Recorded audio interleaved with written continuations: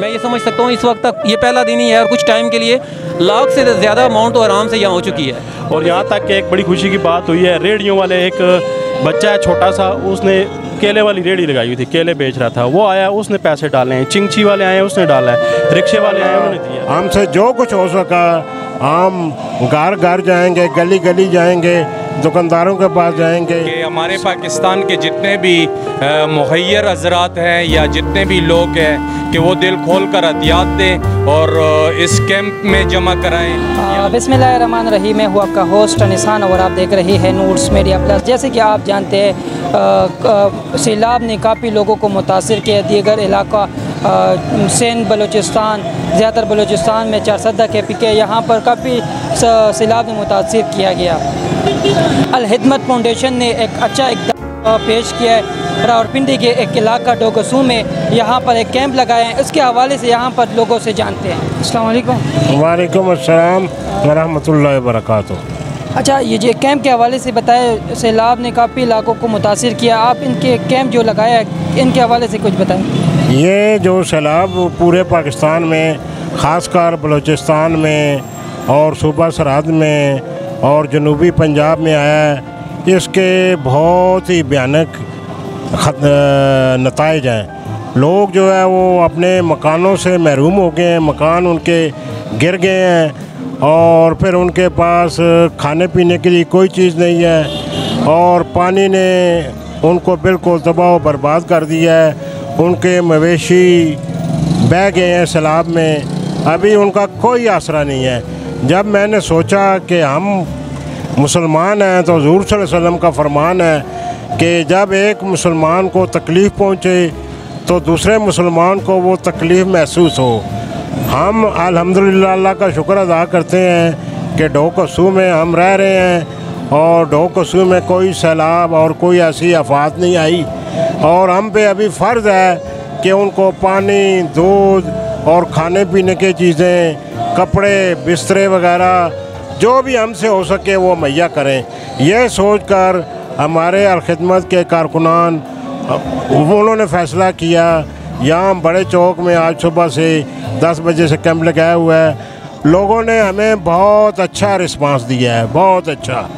हम लोगों को, जो उन्होंने डोकसू में, उन्होंने जो अलखदमत के साथ तावन किया। हम उनके शुक्रगुजार हैं कि उन्होंने हमारी अपील पर भरपूर साथ दिया और ख़ासकर नौजवान डोकसू के ये जो आपके सामने बैठे हैं, इधर बैठे हैं, इन्होंने भरपूर काम किया और इन हमसे जो कुछ हो सका, हम घर घर जाएँगे, गली गली जाएँगे, दुकानदारों के पास जाएँगे।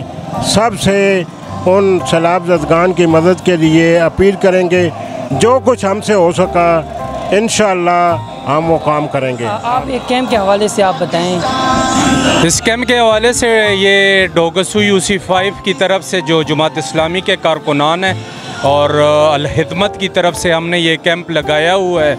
इसमें हमारे जो सिंध बलूचिस्तान और खैबर खुब पुख्तनख्वा में जितने भी लोग सैलाब जदगान की वजह से इस आफत की वजह से शदीद तरीन तकलीफ़ में हैं तो हम उन भाइयों के लिए, उन बहनों के लिए इमदाद के मुंतज़र हैं कि हमारे पाकिस्तान के जितने भी मुहैर हजरात हैं या जितने भी लोग हैं कि वो दिल खोल कर एहतियात दें और इस कैंप में जमा कराएँ।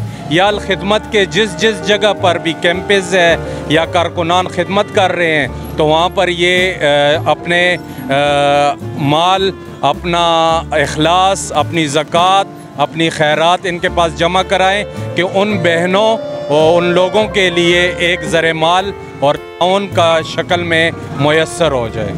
बहुत शुक्रिया थैंक यू मैं कैंप के हवाले से सिर्फ़ इतनी बात करूँगा कि इस वक्त हमें रंग और नस्ल और पार्टियों से बलातर हो के इंसानियत की खिदमत के लिए आगे आना चाहिए। और जैसा कि ये अलखदमत फाउंडेशन वालों का कैंप लगा हुआ है, इस पर लोगों से मेरी गुजारिश है कि वो बढ़ चढ़ के हिस्सा लें।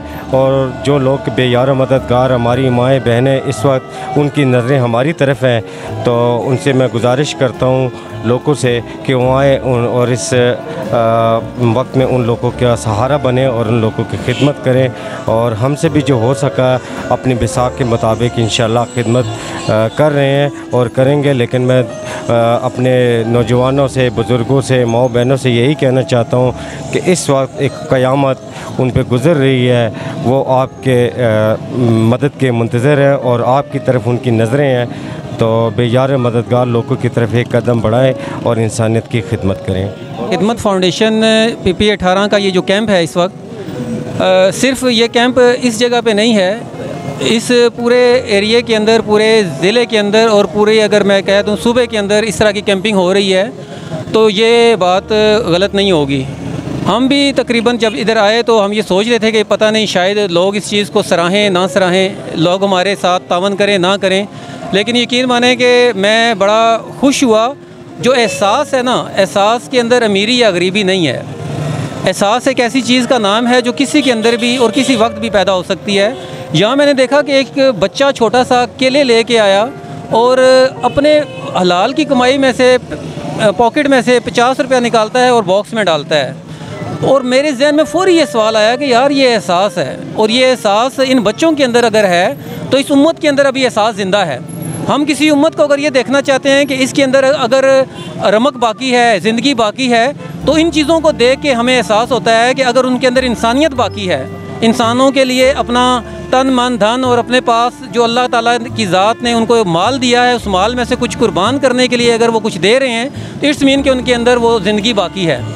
एहसास है तो ज़िंदगी है, अगर एहसास नहीं है तो ज़िंदगी नहीं है। और इस वक्त मैं, जो मेरी अपनी इलम है मेरे अपना इलम है, इसके मुताबिक कोई तकरीबन सत्तर फ़ीसद पाकिस्तान डूब चुका है। इसके अंदर कोई डेढ़, दो हज़ार तो ऐसे लोग हैं जो ऑन रिकॉर्ड हैं, जो इस वक्त फौत हो चुके हैं, और इसके अलावा कितने ज़्यादा हैं जो मलबे के अंदर इस वक्त दबे हुए हैं। और जिनका इलम ही नहीं है हमें अभी हमें पता ही नहीं है वो किधर किधर हैं, उनकी कोई कोई तादाद का शुमार ही नहीं है।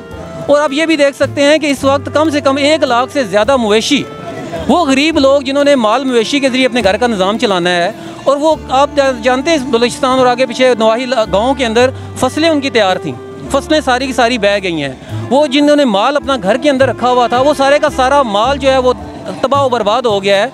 उनके लिए जो भी ज़रूरत ज़िंदगी का सामान था, वो सारा तबाह हो चुका है। अब वो क्या करें? किसको देखें? इस वक्त इन अलखिदमत फाउंडेशन ने जो कदम उठाया, बहुत ही ऐसा कदम उठाया और बहुत से लोगों ने बढ़ चढ़ के इनके सबका कामों को देखते हुए अभी भी इनके साथ तावन कर रहे हैं। और इधर आके यकीन माने पाँच हज़ार, बीस हज़ार, दस हज़ार, तीन हज़ार, आठ हज़ार और बाहर से भी कॉल कर रहे हैं और कह रहे हैं, यार, हमारा सामान है, माल का लेके आए, कपड़े, जूते ये सारी चीज़ें आप देख सकते हैं, यहाँ पड़ा हुआ है और काफ़ी अभी आ भी रहा है।